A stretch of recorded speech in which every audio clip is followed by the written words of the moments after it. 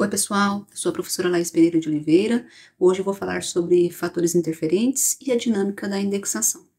Bom, quando a gente tem aí a responsabilidade de desenvolver a indexação de assunto, é, trazendo ali para a base de dados, para o sistema de recuperação da informação, os termos que representam um documento, a gente tem ali uma responsabilidade muito grande, porque é um trabalho que vai dar é, a visibilidade do conteúdo que foi registrado ali é, no dado documento.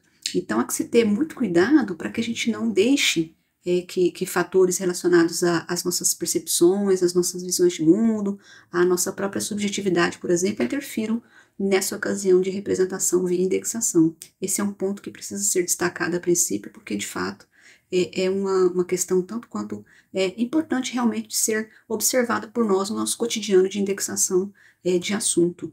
Além do que, a gente tem fatores é, interferentes que estão relacionados também à formação do profissional, ao, ao tempo de experiência nessa atividade. Então, é, é, obviamente, fazer processo técnico, fazer tratamento, representação da informação, requer exatamente que você vá, ao longo do tempo, se tornando mais é, é, hábil nesse conjunto aí de desenvolvimento é, da catalogação descritiva, também da catalogação temática, e é fazendo que você vai tendo realmente esse know-how para colocar em prática os conhecimentos adquiridos formalmente e trazendo também da sua vivência, da sua particularidade, da sua visão é, sobre questões do cotidiano de representação também, e, e obviamente tendo tudo isso aí como um, um, um contributo particular para a sua é, ação contínua de representação de outros documentos. Então, você passa ali a, a ter um, um entendimento dos, dos, vários campos do saber, do próprio sistema de informação em que você é, desenvolve, desempenha essas funções, as condições que você tem para fazer essa representação de assunto, a abrangência, o tipo de público. Então, é tudo questão que vai dando realmente um, um, um tipo de experiência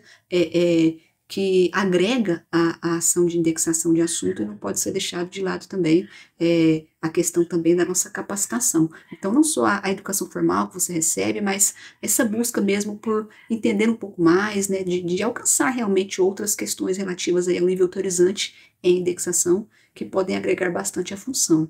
É, é, preciso atentar também que a gente tem aí fatores interferentes relacionados às condições do ambiente em que você está, as condições para que você possa trabalhar com um nível intelectual como esse, né, para compreender um documento tematicamente, a chegar é, é, é, num ponto ali de representá-lo. Então, assim, é preciso ter realmente uma condição de desenvolver essa atividade, é, condições ambientais, é, para que você possa ter acústica, iluminação, toda a questão também de, de instrumentos ao seu redor para dar subsídio a isso. É, obviamente, equipe, né? Se você trabalha com outras pessoas e tem condição de trocar ideia a respeito, haja vista que é um processo realmente subjetivo. Então, tudo é um envoltório também de, de, de ambiências, de situações, de contexto mesmo de desenvolvimento da indexação, que podem vir é, a, a, a, impactar, digamos assim, no, no, desenvolvimento dessa atividade e precisam ser é, minuciosamente observados por você enquanto indexador quando você está no desempenho dessa atividade, né? Então, que condições eu tenho, o que eu posso buscar para melhoria, né? Tanto no nível da ambiência que eu falei, quanto nessa questão anterior relativa também a, ao processo é, olhado sob a perspectiva do profissional também, né? Então, estou me capacitando, estou buscando, estou indo atrás, né? Estou tentando entender essa área do conhecimento para poder representá-la devidamente. Então, é todo um envoltório também que acaba é, tendo uma influência muito grande aí que precisa ser destacado.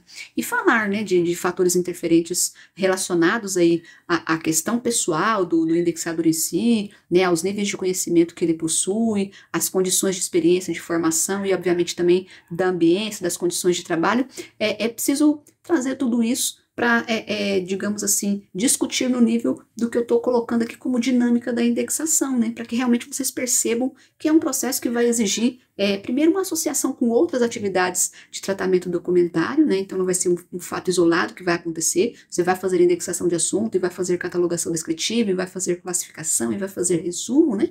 Via condensação.